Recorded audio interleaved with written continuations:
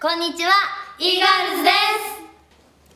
す。はい2月20日にリリースの私たちのニューシングル「ザ・ネバーエンディング・ストーリー」なんですけども、はい、えー、この曲はただいま放送中の、えー、月9ドラマ「ビブリア古書道の事件手帳」の主題歌になっている曲で、はい。はいこの曲はですねあの80年代に世界的にヒットした曲のカバーになるんですけどまあねもう出来上がりとしてはその80年代のいいところを残しつつも、うん、こう e ガールズらしさだったりとか、うん、こうやっぱり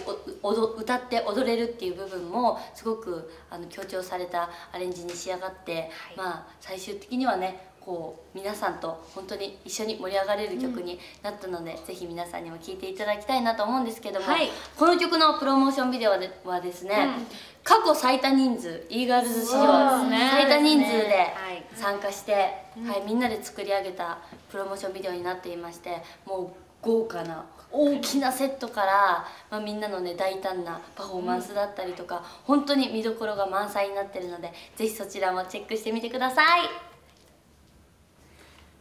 はい今後の予定はですね、はい、なんと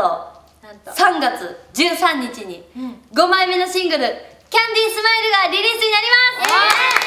早いですよもう。次で次ですから。ちゃんとついてきてくださいね。お願いします。はい。あのキャンディースマイルのリリースイベントなどもたくさんあの予定しているのでぜひ皆さんそちらの方は e ガールズのオフィシャルホームページをご覧ください。以上 e ガールズでした。バイバイ